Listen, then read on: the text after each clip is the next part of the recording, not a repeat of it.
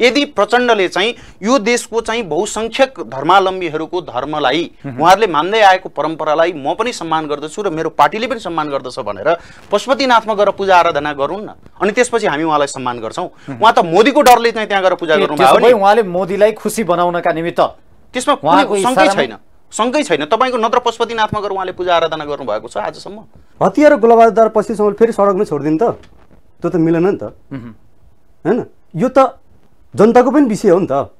नेपालमा फेरि पनि अर्को खालको द्वन्द्व सिर्जना नहोस् भन्ने जनताको पनि कामना छ नि त।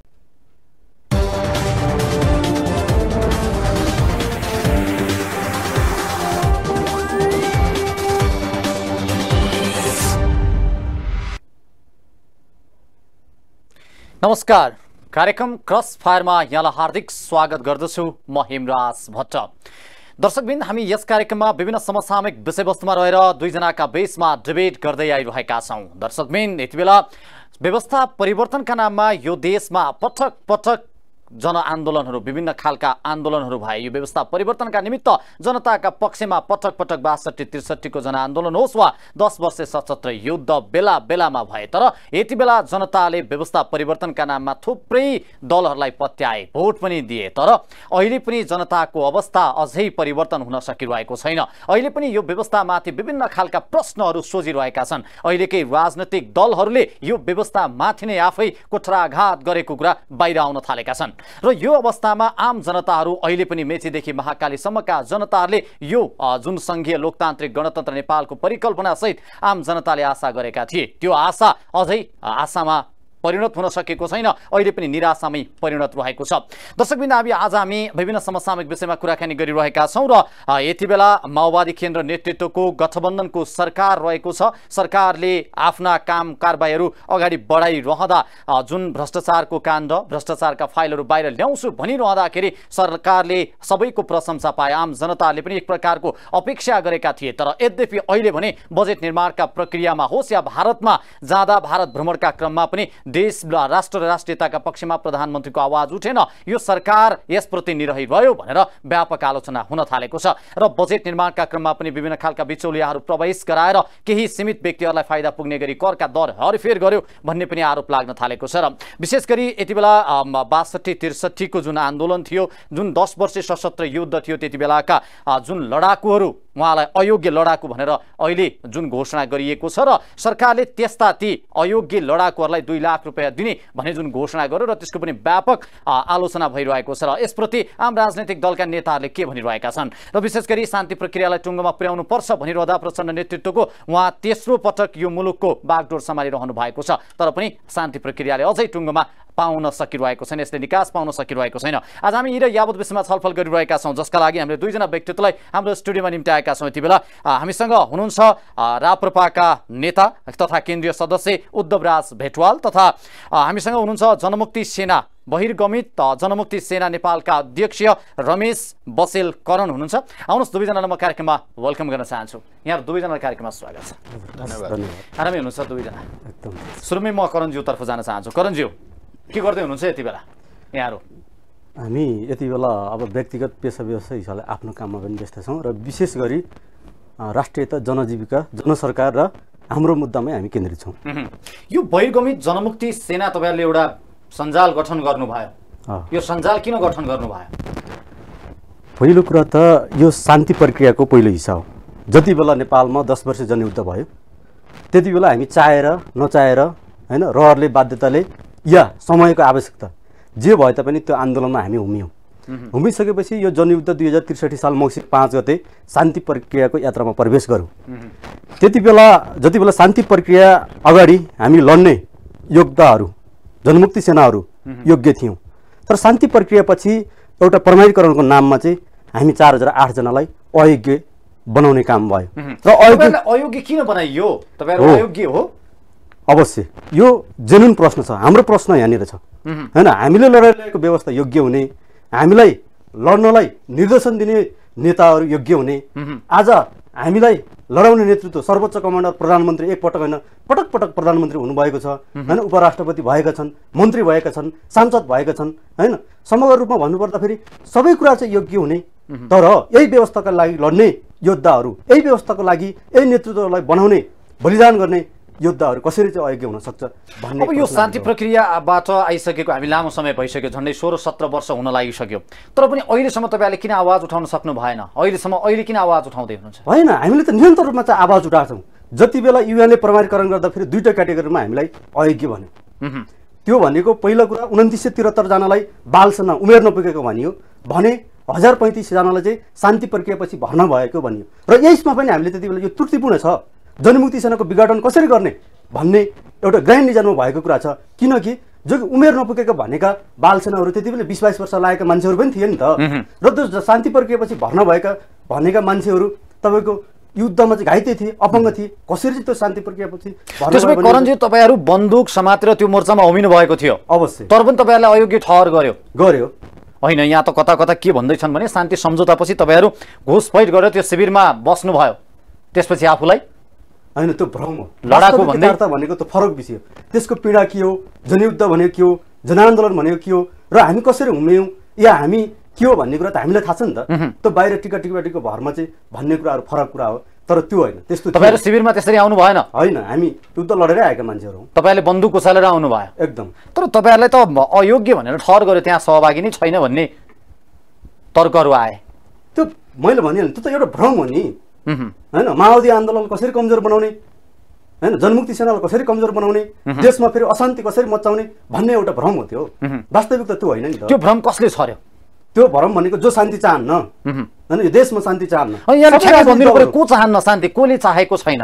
यो देशका राजनीतिक दलहरू सबैले शान्ति चाहेका छैनन्। यिनीहरू आफ्नो अनुकूल हुँदा सबै कुराहरू ठिक भन्छन् र आफ्नो प्रतिकूल हुँदा फेरि सबै कुराहरू बेठिक। आज यहाँ राप्रपाको नेता पनि हुनुहुन्छ। तपाईँकै छेउमा राप्रपा जसले यो व्यवस्थामाथि नै प्रश्न गरिरहेको छ। तपाईँहरूले ल्याएको व्यवस्थामाथि। के हो। उहाँहरूको पनि यसमा शान्ति नचाहेको भन्ने कुरा हो? होइन। त्यो व्यक्तिमा टिप्पणी भन्दा मैले भने यो राजनीतिक संस्कारै गलत छ यो देशमा। यही कुरालाई आफूले गर्दा सही भन्ने र आफूले गर्न नपाउँदा गलत भन्ने। हुन्छ म यहाँसँग आउँछु भेटवालज्यू। ठ्याक्कै अहिलेको जुन यो व्यवस्था जुन छ नि यो विषयमा पनि विभिन्न खालका प्रश्नहरू बेला बेलामा उठिरहन्छ। यसलाई चाहिँ यहाँहरूले कसरी हेर्नु भएको छ? अब यहाँहरूको त एउटा एजेन्डा राजतन्त्र भनौँ न राज संस्था फेरि बिउत्याउने हिन्दू राष्ट्रको एउटा एजेन्डा नै छ। तर पनि त्यो सम्भव अहिले तत्कालको अवस्थामा त्यो देखिँदैन त्यो देखिएको पनि छैन। तर पनि यो अवस्थालाई चाहिँ कसरी हेर्नुहुन्छ यहाँले धन्यवाद। जस्तो अहिलेको व्यवस्थाको जुन तपाईँले कुरा उठाउनु भयो अहिले हामीले जुन व्यवस्था अप्नाइरहेका छौँ र जुन व्यवस्थामा हामी चलिरहेका छौँ त्यसले केही थान मानिसहरूलाई सत्तामा पुर्याएको छ। अघि उहाँले भनेको जस्तो केही व्यक्तिहरू चाहिँ तपाईँको राज्य सत्ताको बागडोर सम्हाल्ने अवस्थामा पुग्नु भएको छ। उनीहरूका निकटस्थ मान्छेहरू चाहिँ राज्यका विभिन्न अङ्गमा पुगेका छन् र साथसाथै जनताको जुन जीवनस्तर उकास्नका निम्ति भनेर यो परिवर्तनको परिकल्पना गरिएको हो। जनताको जीवनस्तर उकास्नका निम्ति आर्थिक सामाजिक रूपान्तरणका निम्ति भनेर यो व्यवस्थाको वकालत गरिएको हो। यसका निम्ति दसौँ हजार मानिसले ज्यानको बलिदानी दिएका हुन्। मानिसहरू मरेका हुन् मानिसहरू मारिएका हुन्। सशस्त्र द्वन्द्वका नाममा चाहिँ तपाईँको घर घरमा एउटा अशान्तिपूर्ण वातावरणमा मानिसहरू बाँचेर यो अवस्था आज ल्याइएको हो नि त। तर तपाईँले अघि भन्नुभयो आज पन्ध्र सोह्र वर्षको अवधि नागिसक्दाखेरिमा पनि खोइ त ठोस रूपमा रूपान्तरण। खोइ त आज सामाजिक रूपान्तरण खोइ आर्थिक रूपान्तरण खोइ आज त खालि के मात्र भएको छ भने संविधानका धाराहरू केही परिवर्तन गरिएका छन्। व्यवस्थालाई यो व्यवस्थालाई त्यो व्यवस्था भनेर नाम दिइएको छ। साइनबोर्डहरू परिवर्तन गरिएको छ। तर तपाईँको परिणाममा हेर्ने हो भने त आज देशको आर्थिक अवस्था दलदलमा फसिसकेको छ उठ्नै नसक्ने गरी। सामाजिक अवस्था चाहिँ दलदलमा फसिसकेको छ राजनीतिक अवस्था दलदलमा फसिसकेको छ हाम्रो राष्ट्रियता आज कमजोर भइसकेको छ हाम्रो सार्वभौम सत्ता आज कमजोर भइसकेको छ। आज हाम्रो देशमा के निर्णय हुने भन्ने कुरा हाम्रो देशको चाहिँ सीमाभित्रबाट निर्णय हुँदैन देशको सीमा बाहिरबाट निर्णय हुन्छ। त्यो भनेको के हो त भनेर भन्दा आजको अवस्थासम्म आइपुग्दाखेरिमा दसौँ लाख युवाहरू चाहिँ यो देशमा बस्न नसक्ने अवस्था कसले बनायो त? व्यवस्था परिवर्तन गरेर मात्रै यो सबै समस्याहरूको हल हुने रहेछ त। या भनौँ त्यो व्यवस्थामा त्यो संविधानमा उल्लेख गरिएको व्यवस्था वा त्यो कुनै एउटा नाम दिएको व्यवस्थामा त समस्या होइन रहेछ नि त। समस्या त के रहेछ भनेर भन्दा राजनीतिक चरित्रमा राजनीतिक संस्कारमा राजनीति गर्ने मानिसहरूको इमानमा समस्या रहेछ नि त। त्यस कारणले आज जुन व्यवस्था हामीले अप्नाइरहेका छौँ त्यो व्यवस्थाले एउटा आर्थिक सामाजिक भड्खालोमा त समाजलाई पारि नै रहेको छ राष्ट्रलाई पारि नै राखेको छ। त्यो साथसाथै हाम्रो एउटा सार्वभौम सत्ता र हाम्रो एउटा चाहिँ अक्षुण्ण एउटा चाहिँ ऐतिहासिक जुन विरासत नेपालको थियो त्यो विरासतमा पनि आज चाहिँ तपाईँको ह्रास आइरहेको छ र आज देशीभन्दा विदेशीहरू चाहिँ हाबी भइरहेका छन्। जस्तो भेटवालज्यू अहिले जुन सत्ता र शक्तिमा रहेका राजनीतिक दलहरूले यो गणतन्त्रमाथि जुन यसलाई अझै परिमार्जन गर्दै यसलाई दिगो रूपमा बनाउनुपर्छ अगाडि बढाउनुपर्छ भनिरहँदा यहाँ केही तत्त्वहरू जस्तो राप्रपामाथि पनि उहाँहरू खनिनु भएको छ। उहाँहरूले नै यसलाई चाहिँ विफल बनाउने प्रयास गरिरहनु भएको भन्ने प्रश्नहरू तपाईँमाथि खडा गरिरहनु भएको छ। राप्रपाले के बिगार्यो? राप्रपा आज अहिलेको संसदमा राप्रपाको चौध सिट छ। बैसठी त्रिसठीको परिवर्तन पछाडि राज्य सत्ता सञ्चालनमा आर्थिक सामाजिक चाहिँ तपाईँको भूमिका निर्वाह गर्ने सन्दर्भमा कतै पनि राप्रपाको निर्णायक भूमिका छैन। आजका दिनसम्म आफूलाई परिवर्तनकारी भन्ने कथित परिवर्तनगामी शक्तिहरू नै त आज राज्य सत्तामा छन्। बैसठी त्रिसठी पछाडिको आजको पन्ध्र झन्डै बिस वर्ष पुग्न लागेको अवधिमा रूपान्तरण खोइ त। राप्रपाले के बिगारेको छ? राप्रपाले त एउटा अभिव्यक्ति स्वतन्त्रता राजनीतिक सङ्गठन गर्न पाउने स्वतन्त्रता र आफ्नो विचार राख्न पाउने स्वतन्त्रताको मात्र उपभोग गरेका छ। राप्रपाले त तपाईँको चाहिँ पहिलाका क्रान्तिकारी भनिएका शक्तिले जस्तो ढुङ्गाबुँडा पनि गरेको छैन हत्या हिंसा पनि गरेको छैन। हामीले काहीँ गएर केही बिगारेको पनि छैन। हामीले त स्वतन्त्रतापूर्वक संविधानले दिएको चाहिँ अभिव्यक्ति स्वतन्त्रताको उपभोग गरेर यो देशमा राजनीतिक शक्ति र यो देशको एउटा संस्थापन शक्ति भनेको संवैधानिक राज संस्थालाई पनि स्पेस दिउँ। राजनीतिक दल पनि मिलेर जाउँ होइन बेलवालजी बेला बेलामा उहाँहरूले के भन्नुहुन्छ भने यो यो व्यवस्थामाथि नै अहिले सबै ठाउँबाट धमिलो पानीमा माछा मार्ने प्रयास चाहिँ हुँदैछ। यो हामीले चाहिँ सफल नहुने यो शान्ति प्रक्रियालाई टुङ्गोमा नलैजाने तत्त्वहरू लागिरहनु भएको छ भनिरहनु भएको छ। किन किन हामीले चाहिँ हामीले तपाईँलाई मैले अघि सुरुमा पनि निवेदन गरेँ हामी एउटा भनेको माइनोरिटी शक्ति हो। हामी भनेको अल्पमतको शक्ति हो। हामी न आज संविधान संशोधन गर्ने हैसियत राख्छौँ न आजका राजनीतिक पार्टीहरूले गर्ने र गरिराखेका निर्णयहरूलाई हामीले चाहिँ कार्यान्वयन नगर्नका निम्ति हामीले बाधा पुर्याउन सक्छौँ।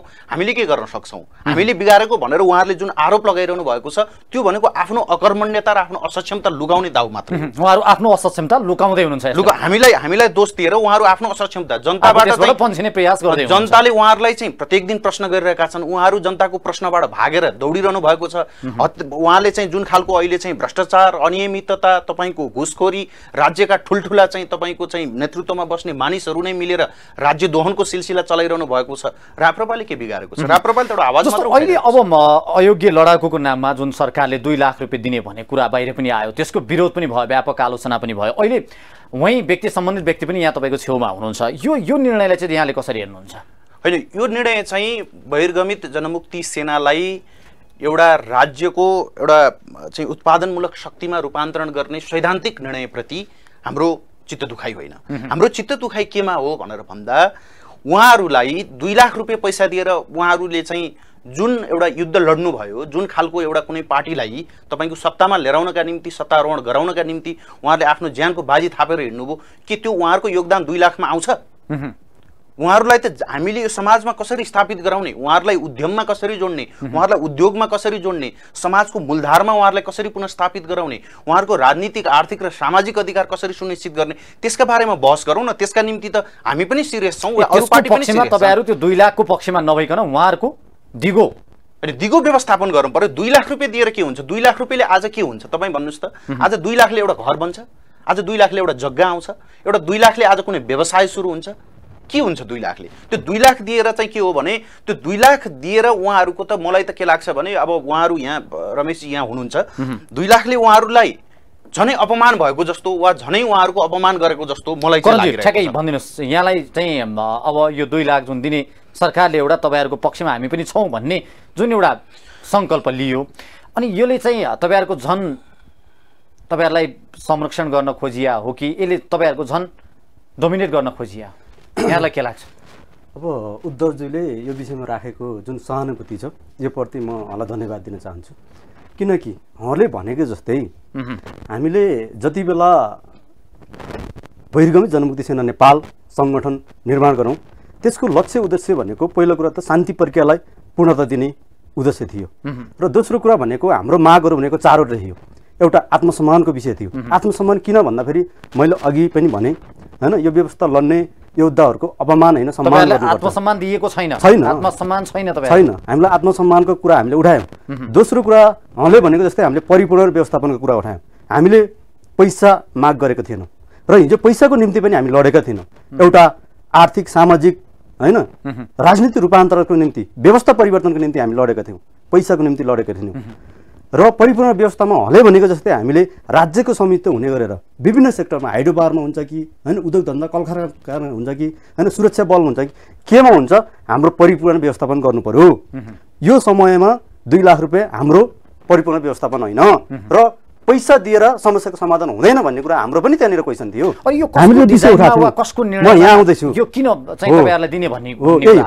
अनि त्यो परिपूर्ण व्यवस्थापनको विषय अर्को कुरा हामीले के उठायौँ भने जवाफदेहिताको कुरा उठायौँ होइन?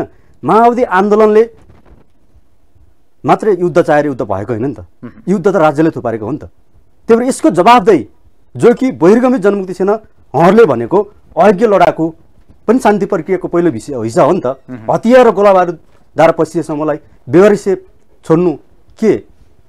यो शान्तिको कामना हो। शान्तिको कल्पना हो। यो होइन। त्यो कारण यो जवाफदेही त को हुने? भन्दाखेरि सात राजनीतिक दलहरू हुनुपर्छ यसको जवाफदेही त। मह्म। अँ, राज्य सत्ता हुनुपर्छ यसको जवाफदेही त। हिजो लडाउने माओ पार्टी हुनुपर्छ भनेर हामीले जवाफदेहिताको कुरा उठायौँ। त्यसै गरी हामीले नदोरिने प्रतिबद्धता यस्ता घटनाहरू फेरि दोहोरिन सक्छन् अब दोहोरिनु हुँदैन। दोहोरिनु हुँदैन। होइन? हिजो जे भयो त्यो त इतिहासले मूल्याङ्कन गर्छ। हामीले सही भनेर लड्यौँ र सही भएको छ भन्ने हामीले महसुस गरेका छौँ। होइन? त्यसो भए मैले ठ्याक्कै यो प्रश्न कहाँ राखेँ भने यो तपाईँहरूलाई दुई लाख दिने कुरा चाहिँ कहाँबाट आयो? तपाईँहरूको माग थियो? हाम्रो माग तपाईँहरूसँग समन्वय थियो? हामीले परिपूर्ण व्यवस्थापनको कुरा गर्दै गर्दाखेरि दुई हजार उनसत्तरी सालमा त्यति बेला डाक्टर बाबुराम भट्टराई प्रधानमन्त्री हुनुहुन्थ्यो। उहाँले दुई लाख रुपियाँ दिने निर्णय गर्नु पर्यो भयो र हामीले भन्यौँ ठिक छ राहत स्वरूप चाहिँ सरकारले पाँच रुपियाँ दिन्छ भने हामीलाई सम्मान गर्छ भने ठिक छ त्यसलाई चाहिँ स्वागत गरौँ त भन्ने भयो। त्यसको विरुद्धमा पनि सर्वोच्च अदालतमा मुद्दा पर्यो। होइन जो कि पीडित भनेका साथीहरूले त्यसको हाम्रो हामी चाहिँ सरकारवाला भयौँ तर राज्यले चाहिँ विपक्ष बनाएर नेपाल सरकारलाई विपक्ष बनाएर मुद्दा हाल्यो। होइन? त्यो पनि तहस नहस भयो। फेरि हामीले निरन्तरता दियौँ। हामीले अहिले मैले भनेको जस्तै चारवटा माग राखेर हामीले निरन्तर सङ्घर्षलाई चाहिँ मूर्त रूप दियौँ।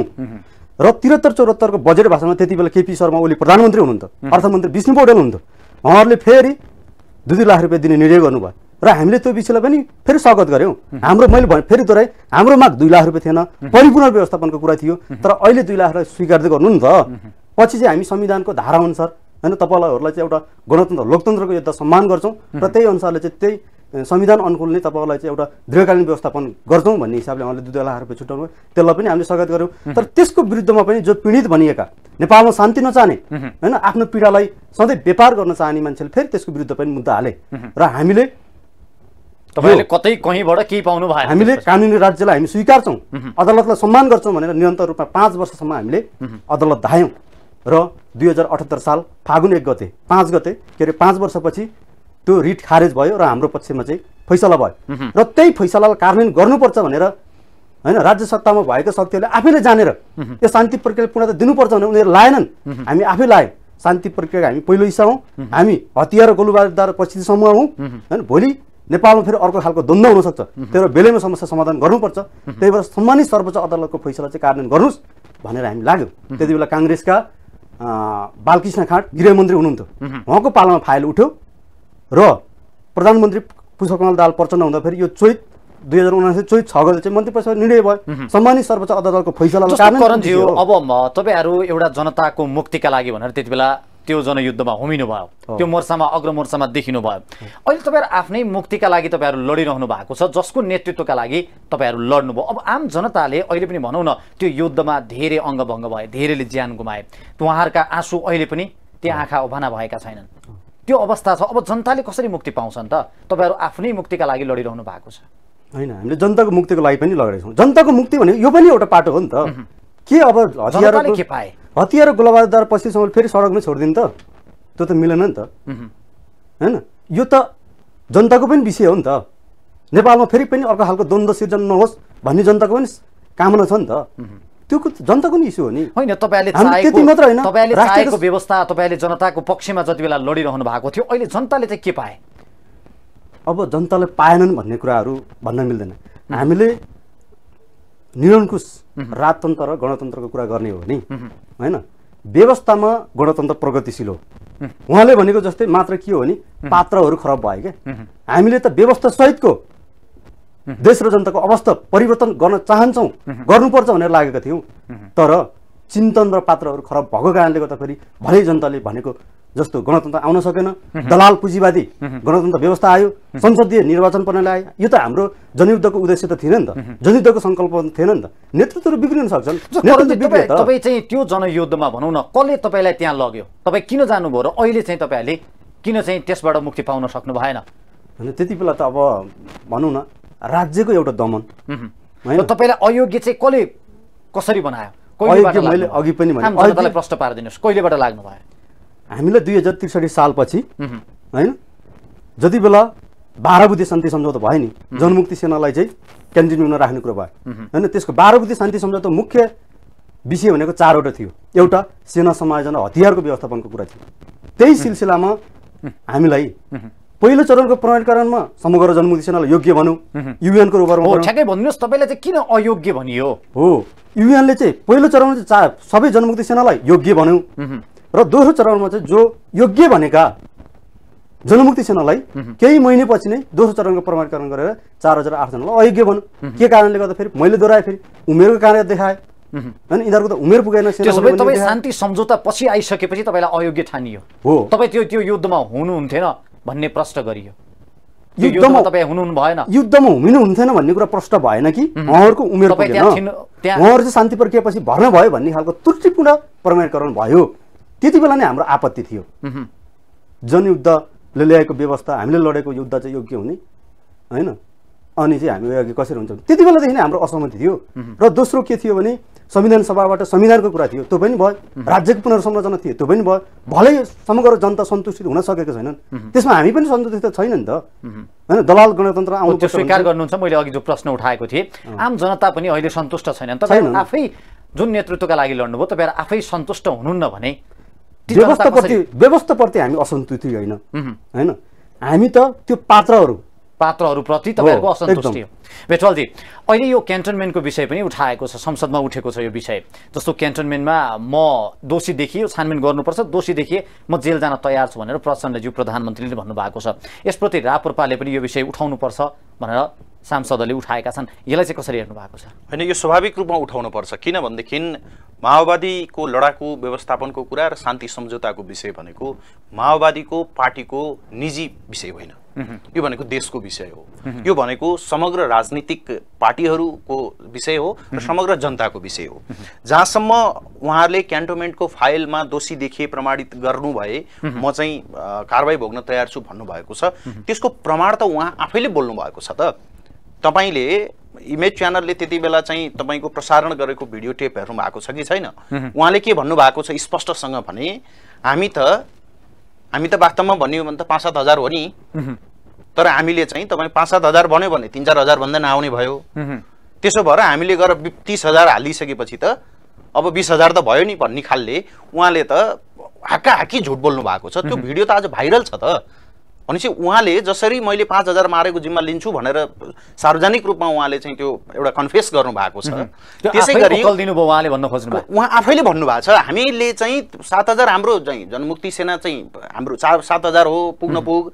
हामीले त्यति मात्रै प्रमाणीकरणमा हालिदिएको भए अनमिलले चाहिँ चार पाँच हजार भन्दा राख्थेन। हामीले चाहिँ ल र तिस हजार राख्थ्यौँ त्यति भएपछि त बिस हजार त भयो नि भनेर उहाँले त मुस्कानसहित बडो विजय भावमा विजय विजय मुद्रामा उहाँले बोल्नुभएको भिडियो त आज पनि स्यास्याती सामाजिक सञ्जालमा छ नि। त्यो भन्ने बित्तिकै त्यसमा घोटाला भएको थियो भन्ने कुरा त्यो एउटा प्रमाण भयो त्यो सबैले अकाट्य प्रमाण भयो एउटा कुरा। दोस्रो कुरा उहाँका सहयोद्धा जसले उहाँहरूलाई चाहिँ पहिलो निर्णय गरेर चाहिँ राहत दिने भन्नुभयो डाक्टर बाबुराम भट्टराईले। सार्वजनिक सभामा भन्नुभएको छ कि प्रचण्डले क्यान्टोमेन्ट काण्डमा चाहिँ अरबौँ भ्रष्टाचार गरेका छन्। त्यसको प्रमाण मसँग छ भनेर बाबुराम भट्टराईले भन्नुभयो उहाँले आफै भन्नुभएको। उहाँले आफैले भन्नु उहाँहरू भनेको दुईजना माओवादी युद्ध भनेर हामीले बुझ्दाखेरिमा बुझ्ने दुईवटा नाम भनेको बाबुराम र प्रचण्ड हो नि। उहाँहरू आफैले चाहिँ त्यहाँनिर भएको घोटालाका बारेमा स्पष्टसँग सार्वजनिक रूपमा बोलिसक्नु भएको छ भने त्योभन्दा ठुलो प्रमाण के चाहियो? एउटा विधिमा चल्ने एउटा चाहिँ तपाईँको नीतिमा चल्ने र एउटा एउटा चाहिँ तपाईँको सिद्धान्तमा चल्ने यदि राज्य हुने हो भने उहाँहरूले जुन आफैले चाहिँ एउटा चाहिँ आत्मा चाहिँ मूल्याङ्कन गरेर वा भनौँ न आफैले चाहिँ सो घोषणा गरिसक्नु भएको छ कि यसमा घोटाला भएको छ त्यसो भए। उद्धवज्यू यसले यसको छानबिन कसले गर्छ त अब यसको छानबिन यसको निकास कसरी पाइन्छ त होइन यसको छानबिन गर्न पर्ने दायित्व भनेको राज्यकै नै हो किन उदासीन छ तर? किन भनेर भन्दा तपाईँले आज तपाईँले हेर्नुभयो भने यो राज्य संरचना कस्तो छ भनेर भन्दा यो राज्य संरचना केही राजनीतिक दल र राजनीतिक दलका कथित शीर्ष नेताको सिन्डिकेटमा यो राज्यका सम्पूर्ण निकायहरू दलदलमा कब्जा गरेर राखिएको छ। नत्र भनेदेखि तपाईँले आजकै भुटानी शरणार्थी प्रकरणलाई नै हेर्नुभयो भने पनि यसमा आशंका गरिएका र यसमा मानिसहरूले नाम लिएका कैयन मान्छेहरू यो छानबिनको दायरामा आएनन् नि। किन आएनन् त भनेर भन्दा यहाँनिर लहरो तान्दा पहरो गर्जिने भयो। यहाँनिर शीर्ष नेताको घर घरसम्म शीर्ष नेताको चाहिँ दराजमा यहाँनिर चाहिँ तपाईँको बिटाका बिटा पैसा पुगेको छ। उनीहरूले आज चाहिँ आफू नै भोलि दोषी हुने र आफू नै कारवाहीको दायरामा आउने भइसकेपछि हतार हतार गरेर केही मानिसहरूलाई समातेर उहाँहरूले चाहिँ मुद्दा दर्ता गर्नुभयो। त्यो भनेको के हो भने हाम्रो राज्य संरचनामा रहेका वा हाम्रो राजनीतिक नेतृत्वमा रहेका शीर्ष भनिएका नेताहरूको चाहिँ कब्जामा हाम्रो चाहिँ उहाँहरूको सिन्डिकेटमा? सिन्डिकेटमा हाम्रा चाहिँ अख्तियार दुरुपयोग अनुसन्धान आयोग संवैधानिक आयोगहरू हाम्रो संसदीय चाहिँ समितिहरू लगायत जुन जुन यो व्यवस्थाका चाहिँ सर्वोच्च तपाईँको चाहिँ निकायहरू हुन् ती निकायहरू चाहिँ आज पनि केही सीमित दुई तिनजना नेताको बगलीभित्र छ जसका कारणले गर्दाखेरिमा क्यान्टोमेन्टको घटना पनि छानबिन हुन सकेको छैन र त्यो जस्ता थुप्रै घटनाहरू हामीले चाहिँ वाइड बडी घटना भनौँ वा चाहिँ यति ओम्नी प्रकरण भनौँ वा तेत्तिस किलो सुन प्रकरण भनौँ वा जलहरी काण्ड भनौँ वा जुनसुकै अब यो काण्ड यति धेरै भइसक्यो कि यसको अब नाम लिएर साध्य छैन त्यसो भए प्रचण्डज्यूले अब पटक पटक म आफै सत्तामा पुगिरहन्छु। वा हिजो पनि थिएँ अब पनि सत्तामै हुन्छु। यो विषय बोलिदिउँ। जनताको एउटा इस्टिमेट भनौँ न जनतासँग स्ट्यान्ड लिनका लागि उहाँले भनिदिनु भयो तर यो छानबिन गर्ने कोही छैन भने उहाँ ढुक्क हुनुभयो। उहाँले चाहिँ एउटा कुरा के हो भने जबसम्म कुनै एउटा घटना भएको चाहिँ छानबिन गर्नका निम्ति चाहिँ जति धेरै त्यहाँ समय बाँकी राखिन्छ वा जति लम्ब्याइन्छ त्यति नै त्यससँग सम्बन्धित प्रमाणहरू नष्ट गर्न सजिलो हुन्छ। बिस्तारै नष्ट गर्दै प्रमाणहरू नष्ट गर्दै गर्दै गर्दै गर्दै जाने र अन्तिममा जब चाहिँ के हो भने त्यो छानबिन गर्ने किनभने अहिले त पन्ध्र सोह्र वर्ष अगाडिको यो घटना हो। आजसम्म उहाँहरू नै सत्ताको चाहिँ वरिपरि हुनुहुन्छ। उहाँहरूले नै राज्य सत्ताका हरेक अङ्गहरू सब हरेक दस्तावेजहरूमाथि कब्जा गरेर राखिरहनु भएको छ। हुँदा हुँदा उहाँहरूले त न्यायालयलाई समेत राजनीतिकरण गरिदिइसक्नु भएको छ। आज न्यायालय आफैमा स्वतन्त्र छैन। न्यायालयमा चाहिँ तपाईँको राजनीतिक पार्टीको चाहिँ कोटाबाट चाहिँ न्यायाधीश नियुक्ति हुने व्यवस्था उहाँहरूले चाहिँ त्यो खालको खराब व्यवस्था अप्नाउनु भएको छ भनेपछि अब यसलाई त कसले तपाईँको चाहिँ पुष्टि गर्छ वा कसले उहाँहरूलाई कारवाहीको दायरामा लिएर आउँछ? त्यसैका निम्ति हामी भन्दैछौँ जनतालाई हामीले के भनेका छौँ भने आजका भ्रष्ट नेतृत्वहरूलाई यदि हामीले विस्थापित गर्ने हो भने र यदि उनीहरूका चाहिँ उनीहरूले गरेका भ्रष्टाचारका घटनालाई हामीले छानबिन गर्ने हो भने हामीले पहिला त के भनेका थियौँ भने छयालिस साल पछाडिका चाहिँ हरेक तपाईँको शीर्ष पदमा रहेका कर्मचारी र राजनीतिक नेतृत्वको सम्पत्ति छानबिन गर्नुपर्छ भनेका थियौँ। तर कतिपयले के भन्यो भने ए त्यसो भने त्योभन्दा अगाडिको चाहिँ पर्दैन भनेर भन्नुभयो। त्यस सम्बन्धमा हाम्रो अस्ति पार्टीका अध्यक्षले पनि भनिसक्नु भएको छ किन छयालिस सालभन्दा पछाडिको त्योभन्दा अगाडिको पञ्चायत कालका नेतृत्वको पनि सम्पत्ति छानबिन गरौँ न। त्यति मात्र किन राजाको पनि सम्पत्ति छानबिन गरौँ न त? यहाँनिर त के छ भने तपाईँको राजाले अकुत सम्पत्ति आर्जन गरे ल गरौँ न त राजाको पनि सम्पत्ति छानबिन गरौँ। छानबिन हुनुपर्छ। गरौँ न उहाँ नि एउटा नागरिक हो नि आजको दिनमा त। उहाँको पनि सम्पत्ति छानबिन गरौँ पञ्चायत कालमा नेतृत्वमा रहेका र जीवित रहेका आज जो जति छन् ती सबैको पनि सम्पत्ति छानबिन गरौँ। छयालिस सालमा चाहिँ छयालिस सत्तालिस सालमा चाहिँ यहाँ चप्पल लाएर आउने नेताहरू आज जोसँग अर्बौँको सम्पत्ति छ ती नेताहरूको पनि छानबिन गरौँ न। त्यो सबै पैसा भने त हामी जनताको पैसा हो नि त। त्यसका निम्ति चाहिँ यो सबै छानबिन गर्नका निम्ति जनताले फेरि एकचोटि सङ्घर्ष गर्नुपर्छ। जनताले त उद्धवजी अझै पनि एउटा विकल्प त पाएनन् नि। फेरि तिनै दल तिनै व्यक्ति तिनै अनुहार र नयाँ भनिएका पनि त्यही मिश्रित भइदिने अवस्था जनताले विकल्प पाएनन्। त्यसै भएर हामी के भनिरहेका छौँ भने जसरी पहिले राजनीति गर्ने क्रममा पहिला राज संस्थासहितको प्रजातन्त्र हुँदाको बखतमा वा राजा मात्रैको व्यवस्था पञ्चायती व्यवस्था हुँदाखेरिमा राजाले दलहरूलाई निषेध गर्दा त्यहाँबाट विद्रोहको अवस्था सिर्जना भयो। जसका कारणले मुलुक दसौँ वर्ष पछाडि गयो। छयालिस साल पछाडिको परिवर्तन पछाडि त्यहाँनिर सशस्त्र युद्धमा जानका निम्ति एउटा समूहलाई बाध्य बनाइयो जसका कारण माओवादीको द्वन्द्व सिर्जना भयो। त्यसले फेरि मुलुकलाई अर्को दस बिस वर्ष पछाडि धकेल्यो। र बैसठी त्रिसठी पछाडिको परिवर्तन पछाडि यहाँनिर आन्दोलन भएको त केका निम्ति भनेर भन्दा निरङ्कुश राजतन्त्रको अन्त्यका निम्ति हो नि त। तपाईँको राज संस्थाको अन्त्यका निम्ति त भएको थिएन। त्यसो भए माओवादी केन्द्रले जुन दस वर्ष सशस्त्र युद्ध चालेको थियो त्यो देशलाई पछाडि धकल्नका लागि थियो। अनि आज आएर प्रकारान्तरमा त त्यो देखियो नि त। त्यसो भए त रमेशजी तपाईँहरूले त हामी जनताको मुक्तिका लागि जनतालाई एउटा नयाँ व्यवस्थामा ल्याउनका लागि भन्दै हुनुहुन्छ। तर उहाँले भने जस्तो त यो त झन् तपाईँहरूले दस वर्ष पछाडि धकलिदिनु भयो देशलाई। त्यही कारण तपाईँहरूले आफू पनि मुक्ति पाउनु भएन। प्रश्न उठ्यो नि यहाँनिर। होइन प्रश्न उठ्ने कुरा त स्वाभाविक छ। अनि तपाईँहरूले जनताको पक्षमा खै त तपाईँहरूको त्यो छ नि जनताको पक्षमा छैन। छ। छैन भन्न मिल्दैन र। होइन? जो कि आलिसान दरबारमा जन्मेकै भरमा उसको क्षमताको मापन हुँदैन। ऊ राजा हुन पाउने। होइन? जनतालाई शासन हुन पाउने। होइन? त्यो व्यवस्था ठिक थिए तपाईँको अहिले त कम्ती कम तपाईँको गलत गऱ्यो भने हलै भनिहाल्नु भयो के के विषय चाहिँ छानबिन गर्नुपर्छ क्या हामीले त खुलेआम रूपमा देशका प्रमुखको विषयमा पनि बोल्न सक्ने एउटा अवस्था त सिर्जना भएको छ नि त। होइन? हिजो दलितको अवस्था कस्तो थियो? संविधानमा आज समेटेको छ नि त। भलै तर अहिले पनि आम जनताले त त्यो आशा आभास गर्न पाएका छैनन् जनता आजित भएका छन्। अहिले तपाईँले देख्नु भएको छ राजाको देश दौडा। आम नागरिकले ठाउँ ठाउँमा अभिनन्दन गरिरहनु भएको छ। फेरि जनताले किन चाहे त्यो? जनताले किन दौडिरहेका छन् जनता? जनताले जनताले चाहेको के हो भने जनताले राजतन्त्र चाहेको होइन होइन? जनताले यो गणतन्त्र फ्याँक्न चाहेका होइनन्। जनताले के चाहेको हो भने मैले फेरि पनि दोहोऱ्याएँ यो गणतन्त्रको नाममा जसले मोज मस्ती गर्यो नि लक्ष्य र उद्देश्य भन्दा पनि आफ्नो व्यक्तिगत स्वार्थको निम्ति पार्टीगत स्वार्थको निम्ति जो लागे नि हो तिनीहरूलाई फ्यालेर अग्रगमनको बाटो चाहिँ बढ्नुपर्छ है भनेर चाहिँ जनताले चाहेको प- पछाडि हर्किन चा चाहेको होइन जनताले। त्यसो भए त अहिले सती देख्नु ठिक छ भनेर लाग्यो नि त हामी। राजाको होइन गणतन्त्र ठिक छैन भनौँ फेरि सती के अरे राजतन्त्रतिर जाउँ फेरि सती प्रथातिर जाउँ नि त। त्यो इतिहासले छोडिदिन्छ। हामी जति युवाले त्यो भन्नुहुन्न तर अहिले जस्तो तपाईँले देखिराख्नु भएको छ नि पूर्व राजाको देश दौडा ठाउँ ठाउँमा नागरिक अभिनन्दन। तपाईँहरूको कमी कमजोरी हामी चाहिँ सचिएनौँ है। जनता आजित भइसके हामीबाट भन्ने आभास हुँदैन नि त राजनैतिक दलका। त्यही त। त्यो आवाज जनतालाई भएको छ। तर पछाडि फर्किनको लागि चाहिँ त्यो होइन नि जनता त। तयार छैनन्, अब जनता अगाडि बढ्छन्। हामी जस्तो युवाहरू पार्टी विशेष र व्यक्ति विशेष भन्दा पनि आफ्नै पार्टीको नेताले गलत गर्यो भने घोघराउन सक्नुपर्छ। यहाँ त कार्यकर्ताले नि बिगारेको देश हो क्या? जनताले नि बिगारेको देश हो। भोलि भागेदार भइन्छ कार्यकर्ता त। ठिक छ कारवाही स्वीकारिन्छ नि। सत्य बोल्दा कारवाही हुन्छ भने स्वीकारिन्छ नि। तपाईँको अनि एक गिलास रक्सी र मासुको चौटामा चाहिँ अनि मत बेच्ने। जनताहरूको जनताहरूको पनि कमजोरी छ। पार्टी विशेष र व्यक्ति विशेष जनताको पनि कमी कमजोरी छ। संसदीय व्यवस्थामा कार्यकर्ता जनताको पनि कमजोरी छ। त्यो चेतनाबाट चाहिँ माथि उठ्नुपर्छ क्या। हामी जतिको युवाहरू उद्धवजी हामी जतिको युवाहरू होइन? आफ्नो पार्टीभित्रको विषय पनि सही छ भने सही भन्नु पर्यो गलत छ भने गलत भन्नु पर्यो जनतालाई बुझाउनु पर्यो। जस्तो अहिले। दौडा विभिन्न ठाउँमा नागरिक अभिनन्दनका कार्यक्रमहरू भइरहँदाखेरि यो चाहिँ किन र के का लागि हो? होइन यो पक्कै पनि के छ भनेर भन्दा हामीले यो व्यवस्था ल्याइसके पछाडि आज तपाईँले चाहिँ यो पन्ध्र सोह्र सत्र वर्षको अवधिमा हेर्नुभयो भने देशका केही आँकडाहरूलाई मात्र हामीले हेरे हुन्छ। एउटा राजनीतिक आँकडा हामीले हेर्ने हो भने राजनीतिक रूपमा राजनीति यति अस्थिर भयो कि तपाईँको संसदीय व्यवस्था अन्तर्गत कुनै पनि सरकार आजसम्म पाँच वर्ष टिकेको छैन। भनेको राजनीति झनै झनै तरल झनै झनै अस्थिर हुँदै गयो। सामाजिक रूपमा हेर्ने हो भने यति तीव्र रूपमा सामाजिक विचलन बसाइसराई र पलायन छ।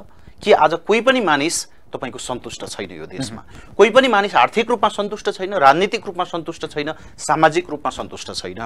त्यसपछि तपाईँले आर्थिक आँकडा हेर्ने हो भने आज तपाईँको बिस खर्बको आयात हुँदाखेरिमा तपाईँको दुई खर्बको पनि निर्यात हुँदैन।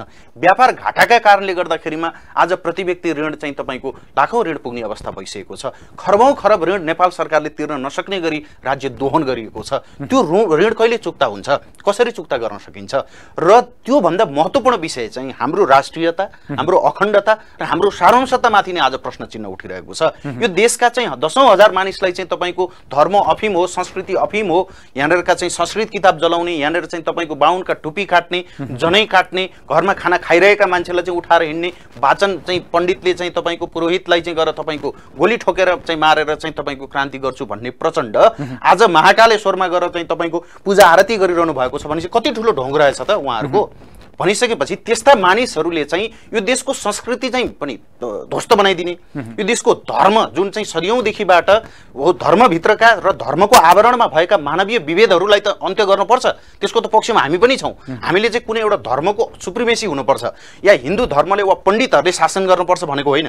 यो देशको पहिचानका निम्ति एउटा हिन्दू हिन्दुत्वको एउटा चाहिँ जुन भावना जसले चाहिँ विश्वभरि एउटा चाहिँ तपाईँको वसुदैव कुटुम्बकमको एउटा चाहिँ नारालाई चाहिँ तपाईँको स्थापित गरेको छ। एउटा परिवार यो संसारका सबै मानिस परिवार हुन् मानव जाति एउटा परिवार हो प्राणीहरू एउटा परिवार हो भन्ने यो जतिको उच्च मानवतावादी एउटा चाहिँ तपाईँको सोच कसले दिन्छ भन्दाखेरिमा? धर्मले दिन्छ। त्यो धर्मको विनाश गर्ने आज चाहिँ तपाईँको धर्मान्तरणका नाममा चाहिँ विदेशी चाहिँ पैसा ल्याएर विदेशी चाहिँ तपाईँको स्वार्थ ल्याएर देशमा हुल्ने सङ्घीयताका नाममा देशको सार्वभौमिकतालाई टुक्र्याउने र देशमा चाहिँ तपाईँको विग्रह निम्त्याउने लामो समयसम्म जातीय सामुदायिक र सांस्कृतिक एउटा चाहिँ तपाईँको विचलन लिएर आउने। त्यसो भए उद्धवज्यू यो यसको विकल्प के हुन्छ त? फेरि तपाईँहरूले उहाँले भन्नुभएको छ आम जनता अझ पछाडि हेर्ने पक्षमा छैन नभए अब यसको विकल्प के राजा हुन सक्छ नि त? होइन हामीले पछाडि जाने भनेर भनेको चाहिँ तपाईँको राजाले हामीलाई शासन गर्ने गरेर अझ अगाडि बढ्न सक्छौँ। होइन, हामीले यही व्यवस्था- यसमा कमी कमजोरी छन् पक्कै पनि। तर यसलाई परिमार्जन गरेर हामीले हामीले भनेको के हो भने स्पष्ट रूपमा म तपाईँलाई भनिदिउँ।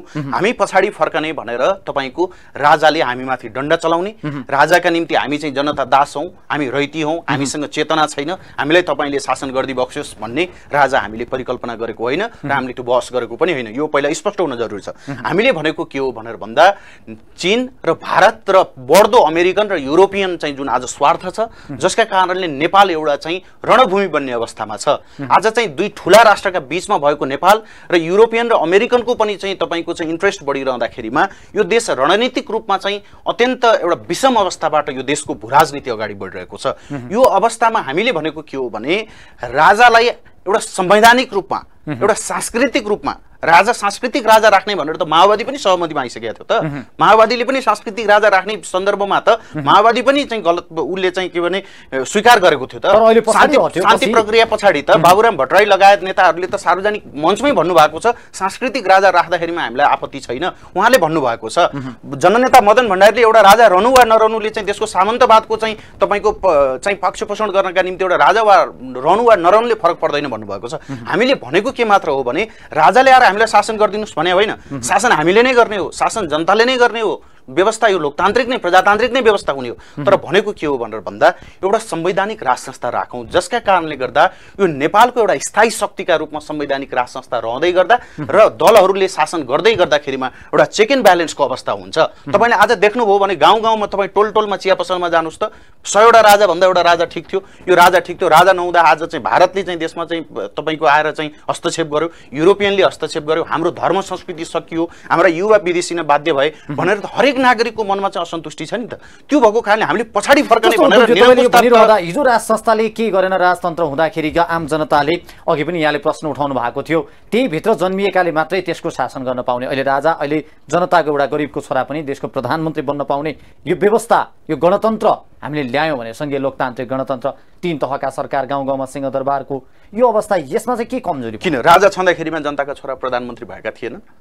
राजाका छोरा मात्रै प्रधान राजा भएका थिए। राजा त राज संस्थाको होइन राज संस्थाको व्यवस्था भनेको त के हो भने विश्वभरि नै त्यो एउटा त्यो भूमिलाई त्यो सार्वभौमिकतालाई र त्यो संस्कृति र त्यो सभ्यतालाई प्रतिनिधित्व गर्ने एउटा चाहिँ तपाईँको मूल एउटा जरोले त्यो देशको एउटा चाहिँ के भन्छ राज संस्थाको चाहिँ प्रतिनिधित्व गर्छ। तपाईँले हेर्नुभयो भने जापानमा आज सम्राट छन्। आज जापानमा पनि त राजा छन् नि त। तर त्यहाँ के शासन राजाले गरेका छन् त? त्यहाँ जनताले शासन गरेका छैनन्? राजाले त के गरेका छन् भनेर भन्दा त्यो जापानको एकतालाई जापानको एउटा सार्वभौमिकतालाई र जापानको एउटा अखण्डतालाई उनले चाहिँ संरक्षण गरेर बसेका छन्। हाम्रो नजिकको देश भुटानमा आज हेर्नुहोस् न भुटानमा राजा छन्। तपाईँको थाइल्यान्डमा राजा छन्। अरू त कुरा छोडिदिउँ बेलायतमा राजा छन्। बेलायत जस्तो समृद्ध मुलुक विश्वलाई चाहिँ तपाईँको सिप ज्ञान विज्ञान दिने मुलुक आज बेलायतमा राजा छन्। कि बेलायतका जनताले बुझेका छैनन् होला? तपाईँको राज संस्थाका बारेमा वा उसका बारेमा? त्यहाँ पनि एकचोटि राजा हटाएर फेरि ल्याएको हो नि त राजा। किन करणज्यू ठ्याक्कै तपाईँले भने उहाँले भनेको कुरामा कतिको सहमत हुनुहुन्छ? म त उहाँको कुरामा मैले भनिहालेँ। व्यवस्थाको कुरामा के हो भने तपाईँको हामी भूतकालतिर फर्किन छुट छैन क्या। होइन? हले भनेको जस्तै आज चोक चोकमा गल्ली गल्लीमा चिया पसलमा चाहिँ राजा भएको ठिक होइन? सयौँ राजा हुनुभन्दा एउटा राजा भएको ठिक भन्ने जो चर्चा परिचय त छ भन्नुभयो नि। हामीले त कसले के भन्यो र कसो गर्यो भन्ने भन्दा पनि मुख्य कुरा त परिणाम हेर्ने हो। निर्वाचनले के देखायो हेर्नुहोस्। उहाँले भनिसक्नु भयो चौध सिटमा आयो। भनेपछि जनता पछाडि फर्किन चाहन्छ। त्यसो भए राप्रपालाई पनि जनताले रुचाएका। रुचाएको छैन। राज संस्था उहाँले भन्नुभएको। एजेन्डा छैन रुचाएको जनता। सन्तुष्ट। जनताले के चाहेका छन् भने प्रत्यक्ष निर्वाचित जनताद्वारा प्रत्यक्ष निर्वाचित कार्यकारी राष्ट्रपति चाहेको छ। जनताले त चाहेको छन्। छ महिनामा देख्नु रवि लाइन्साले कत्रो पार्टी बनाए त?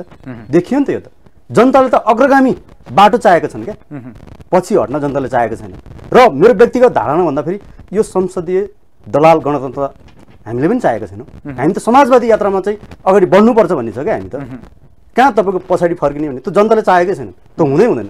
त्यो असम्भव कुरा हो। उद्धवजी त्यसो भए जनताले त चाहेकै छैनन् जस्तो चौध सिट उहाँले पनि प्रश्न उठाउनु भयो। यदि जनताले त्यही नै चाहेको भयो भने त तपाईँहरूलाई त बहुमतका साथ संसदमा पुर्याइदिन थियो थिए। होइन त्यो पक्कै पनि हो। किनभने हामीले आज पनि जनतालाई यसको राज संस्था यस कारणले सही विकल्प हो। राज संस्था किन एउटा कस्तो छ भने आज पनि राजतन्त्र र राज संस्थाको फरक हामीले बुझाउन सकेका छैनौँ। जस्तो राजतन्त्र भनेको राजाले शासन गर्ने बाँकी सबै चुप लाएर बस्ने। उहाँको- तन्त्र। अँ, उहाँको चाहिँ दासत्व स्वीकार गरेर बस्ने भन्ने एउटा चाहिँ त्यसले भाष्य निर्माण गर्छ राजतन्त्रले। राज संस्था भनेको के हो भनेदेखि एउटा देशको स्थायी शक्तिका रूपमा एउटा चाहिँ सेरेमोनियल पोस्टमा बस्ने त्यसले त्यो देशको संस्कृति भूगोल र तपाईँको इतिहासको संरक्षण गर्ने एकतालाई प्रतिनिधित्व गर्ने र चाहिँ तपाईँको चाहिँ जनताहरू बिचमा चाहिँ एउटा अमन चयनको वातावरण निर्माण गर्नका निम्ति एउटा एकताको प्रतीकका रूपमा जनताले। त त्यो चाहेका छैन अहिले त प्रत्यक्ष कार्यकारी राष्ट्रपति जनता भनिरहेका छन् उहाँले पनि भन्नुभयो होइन जनताले आज राप्रपालाई चौध सिट मात्र दिए। त्यो कुरा म के कुरामा मान्दछु भने हामीले जनतालाई आजसम्म यसका बारेमा ठोस रूपमा बुझाउन सकेका छैनौँ एउटा कुरा।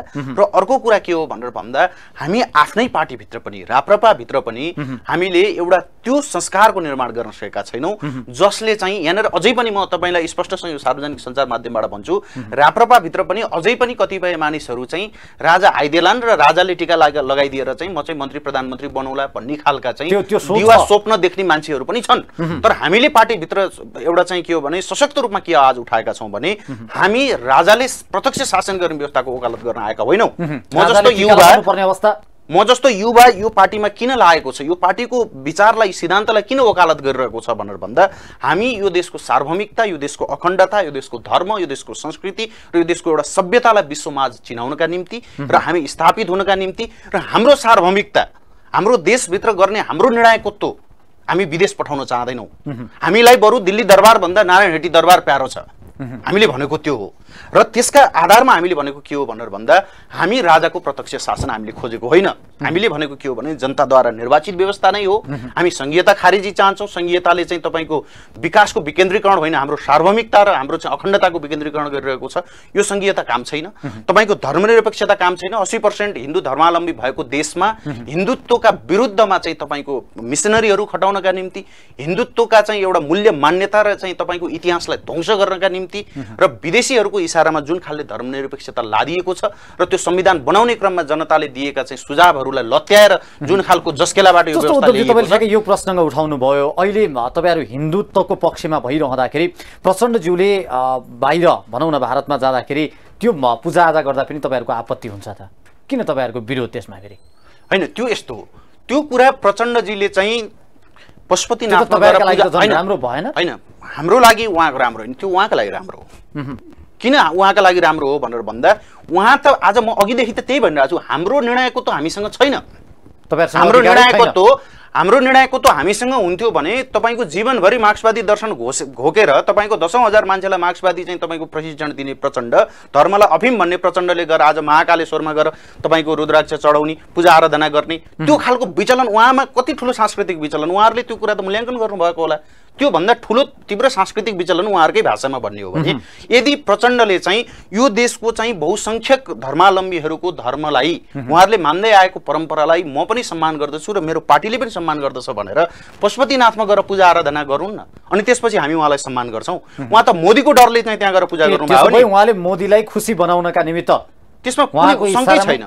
शङ्कै छैन। तपाईँको नत्र पशुपतिनाथमा गएर उहाँले पूजा आराधना गर्नुभएको छ आजसम्म? पशुपतिनाथमा गएर एउटा प्रधानमन्त्रीले पूजा आराधना गर्दै गर्दा हाम्रो त ल ठिक छ उहाँहरूले एउटा धर्मको चाहिँ मान्यतालाई उहाँले स्थापित नगरे पनि एउटा धार्मिक पर्यटनलाई त स्थापित गर्नुहुन्थ्यो नि। किनभने पशुपतिनाथ भनेको त तपाईँको अरबौँ हिन्दूहरूको चाहिँ आराध्य देव हो नि त। यहाँनिर चाहिँ यो पशुपतिनाथको अस्तित्व स्वीकार गर्न नसक्ने प्रचण्डले आज महाकालेश्वरमा गएर चाहिँ तपाईँको गेरु वस्त्र धारण गरेको भनेको धर्म संस्कृतिको संरक्षणका निम्ति होइन उहाँको लम्बसारवादी चरित्र हो त्यो। त्यो भनेको नरेन्द्र मोदीले त्यहाँनिर तपाईँको दस दिन चाहिँ तपाईँ उपवास गर्नुपर्छ प्रचण्डजी भने पनि उहाँ तयार हुनुहुन्थ्यो। किनभने उहाँले त पहिल्यै भनिसक्नु भएको छ भारतका निम्ति हामी निम्ति हामी कम्फर्टेबल सरकार हो भनेर। उहाँले त आफ्नो कम्फर्टेबल क्यारेक्टर त्यहाँनिर प्रेजेन्ट देखाइदिनु देखाउनु भएको हो। करणजी अब हामी कार्यक्रमको अन्तिमतिर छौँ र अन्तिममा जस्तो तपाईँहरूको यो जुन अभियान छ एउटा एउटा तपाईँहरूको मुक्ति सेनाको एउटा आफ्नो समूह सञ्जाल छ। अब चाहिँ यसले कसरी निकास पाउँछ त? तपाईँहरूलाई जस्तो यो दुई लाखको कुरा पनि तपाईँहरूसँग कुनै सम्झौता तपाईँहरू त्यसमा खुसी हुनुहुन्न। र त्यसको पनि व्यापक विरोध भएको छ अहिले त्यो त्यसको विरुद्धमा। रिट पनि परेको छ। अब चाहिँ तपाईँहरूको माग चाहिँ के हो खास सरकारसँग? अहिले तपाईँले जुन नेतृत्वका लागि लड्नु भएको थियो त्यही नेतृत्व नेतृत्वकर्तामा छ। हाम्रो माग भनेको निरन्तर रूपमा त्यही नै चल्छ। जो हामीले चारवटा विषय उठायो मैले अघि पनि भने त्यही हो। र जो राज्य सत्तामा जो भए तापनि शान्ति प्रक्रियालाई चाहिँ पूर्णता दिनुपर्छ भन्ने नै हाम्रो मुख्य माग हो। र राष्ट्रियता जनजीव जनसभाहरूको विषयलाई चाहिँ अलिकति गम्भीर ढङ्गले सोच्नुपर्छ भन्ने हाम्रो विषय हो। सरकारले चाहिँ किन गम्भीर तरिकाले हेर्दैन? तपाईँहरूको आवाज पुगेन त्यहाँ। आवाज हाम्रो नपुगेको भन्न मिल्दैन आवाज पुगेको छ तर यहाँ के छ भने उहाँले भनिसक्नु भयो यहाँ राजनीति गर्न हुने ठाउँमा पनि राजनीति गरियो। राजनीति गर्न नहुने ठाउँमा पनि राजनीति गरियो क्या। सङ्करणकालीन न्याय जो छ महिनामा टुङ्गिने भन्ने विषय थियो नि आज सोह्र वर्ष भइसक्यो। हाम्रो पनि त्यहाँ आपत्ति छ। होइन? तपाईँको हरेक संवैधानिक निकायमा यतिसम्मको न्यायालयमा सुद्धा चाहिँ राजनैतिक भागभण्ड हुन्छ भनेपछि अनि यो देशमा शान्ति प्रक्रियाले पूर्णता पाउँछ त। सबै राजनीतिक दलहरू चाहिँ जिम्मेवार हुनु पर्यो गम्भीर हुनु पर्यो। यो राष्ट्रियताको विषय हो। राष्ट्रियताको विषय हो यो। यो जनताको विषय हो। सबै सचेत भयो भने मात्र शान्ति प्रक्रियाले पूर्णता पाउँछ अनि देश एउटा समृद्धिको बाटोमा अगाडि बढ्छ। होइन भने सधैँ यही नै- यही प्रक्रिया चलिरहन्छ। उद्धवज्यू अब जाँदा जाँदै अन्तिममा यो देशले अब यसरी नै यो भुमरीमा परिरहन्छ कि यो देशले के विकास र निकास पाउँछ र त्यो पाउनका लागि के गर्नुपर्छ? होइन मुख्य कुरो त यो देशले निकास पाउनका निम्ति अहिले जसले राजनीतिको नेतृत्व गरिरहेका छन् जुन जुन राजनीतिक दलहरू छन् ती राजनीतिक दलहरूमा एउटा इमानसहितको राजनीतिक नेतृत्व स्थापित हुनुपर्छ संस्कारसहितको राजनीतिक नेतृत्व स्थापित हुनुपर्छ त्यसले राजनीतिलाई चाहिँ बिस्तारै बिस्तार शुद्धिकरण गर्छ। एकैचोटि शुद्धिकरण हुने विषय होइन यो राजनीति भनेको। दस्तावेज। दस्तावेज लेखेर शुद्धिकरण हुने कुरा होइन।